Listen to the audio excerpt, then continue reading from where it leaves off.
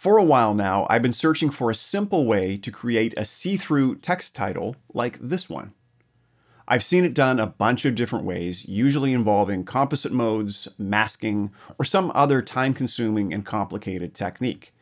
In this tutorial, I reveal what I believe is the fastest and easiest way to create a see-through text title and turn it into a drag and drop asset you can reuse in future projects. I'm David Power, and this is a DaVinci Resolve Power Tip. Step 1. Drop a text plus element onto your timeline. From the Edit tab, open the Effects library. Under Toolbox, select Titles, and drag and drop a text plus element onto your timeline above an existing video clip. Now, there doesn't have to be a video on your timeline, but if there is, it'll be easier to see the effect come to life. Okay, step two, configure the text. Put your playhead somewhere over the text so you can see it in the viewer. And then open the inspector pane. Enter the text you want to see. I'll type burger. Now you can use this effect with any font, but you'll find it works best with bold, chunky fonts. For that reason, I'll choose Bebas Neue. And yes, I had to Google that to find the proper German pronunciation. At this stage, you can also adjust the tracking and any other style elements you want. And when you're done, let's move on to Step 3. Adjust text shading. Near the top of the inspector pane, click the shading icon. By default, element 1 is selected, and leave that as is for the moment. Under Properties, change the color to black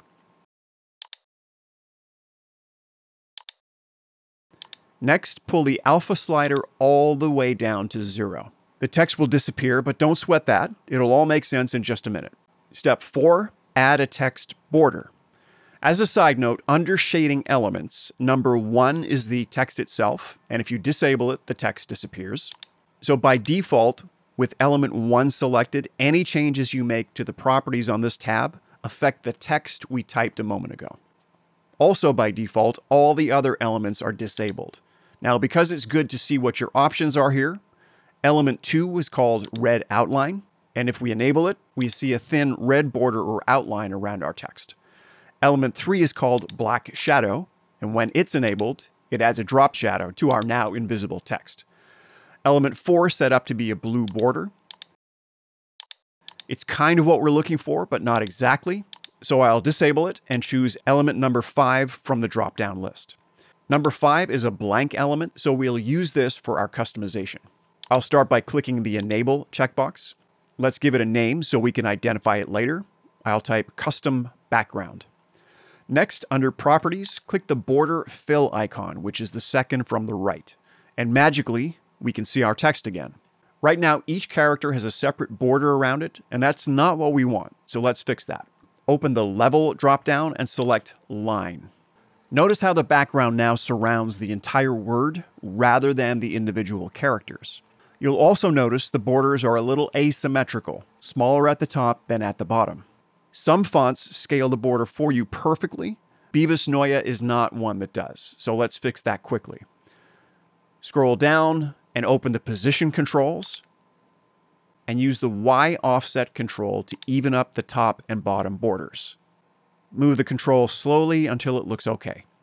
Also, if you want to change the width of the borders around the text, you can do that by adjusting the extend horizontal and extend vertical sliders until you get the look you want.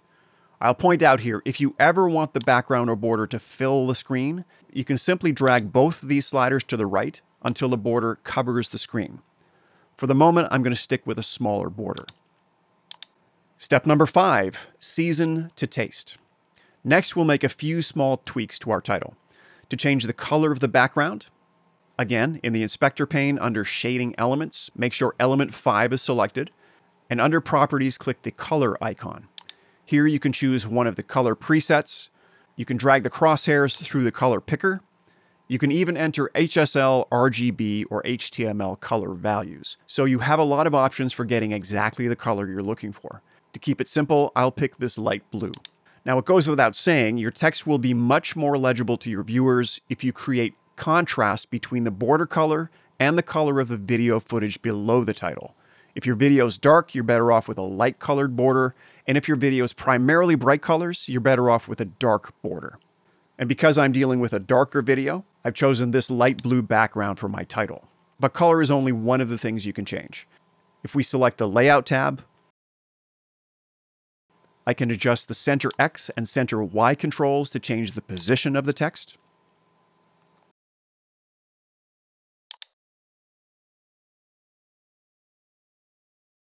And if we return to the text tab inside the inspector, here we can change the text string itself. We can also change the size of the text.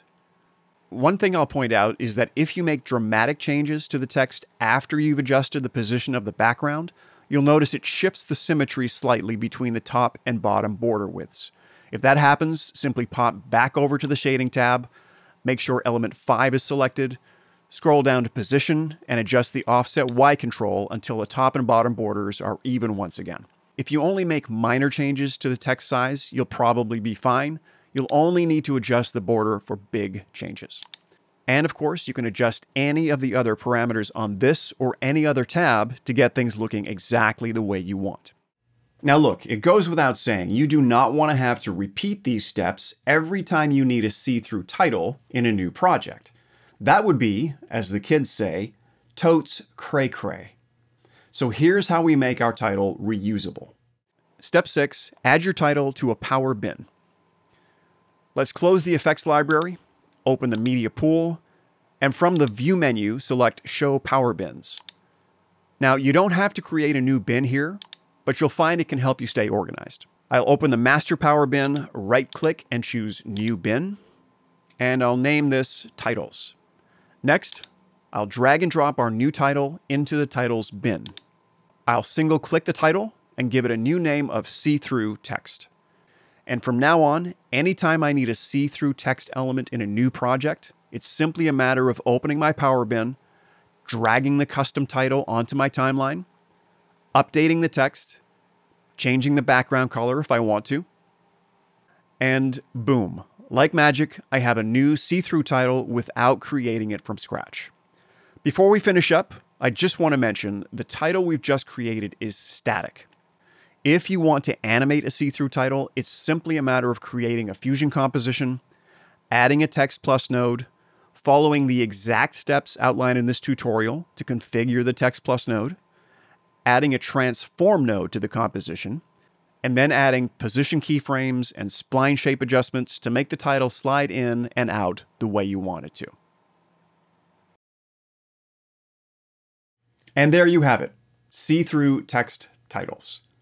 If you have questions, let me know in the comments. And if you're enjoying these tutorials, you know what to do. Once again, I'm David Power, and I'll see you in the next Power tip.